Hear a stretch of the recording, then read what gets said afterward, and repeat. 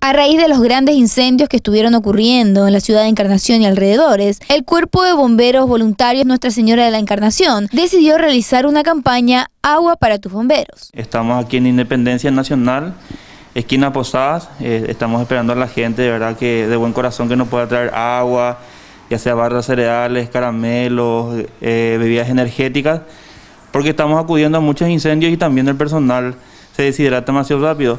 Entonces necesitamos que la gente nos pueda apoyar ya. Realmente hace un día que estamos realizando esa campaña y la gente es impresionante como, como viene, te trae agua, viene, eh, te gira dinero también, ¿verdad?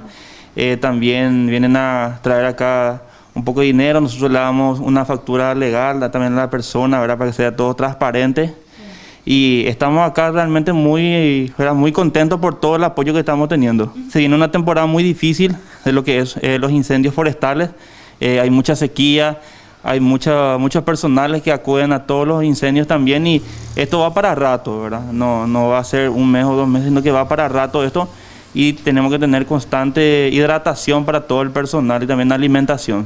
Nosotros apelamos a la conciencia de la gente, ¿verdad? En, a no quemar los pastizales, ¿verdad? Que por ende, al quemar un pastizal, no, a, nosotros, ¿qué pasa? Tenemos que hacer más gasto de combustible personal.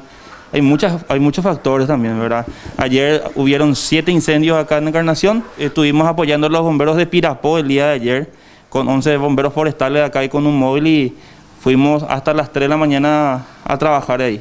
¿Este incendio era también en un pastizal? ¿Era cómo, era, cómo fue la situación? Es un pastizal primeramente, luego llegó a ser forestal, ¿verdad? porque ya agarró un monte y vieron varios focos donde eh, tres compañías de bomberos que son de Pirapó, la compañía, también eh, y Encarnación estuvieron trabajando en ese lugar. El motivo de esta campaña es que durante el trabajo de sofocar incendios, estos voluntarios sufren una gran deshidratación y necesitan estar hidratados constantemente.